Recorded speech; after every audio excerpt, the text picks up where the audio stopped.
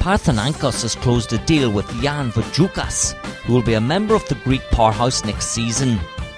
The 25 year old centre arrives at Panathinaikos after playing last season at Panellinios, where he was on loan from Olympiakos.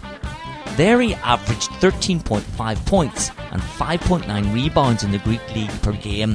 However, Vougioukas is not the only Greek player who's reached an agreement with Panathinaikos. As expected, Kostas Kaimakoglou will also play for the Greens next season. The 27 year old forward arrives from Marousi, BC, where he had played since 2004, averaging 10.1 points and 2.8 rebounds per game in last year's EuroLeague.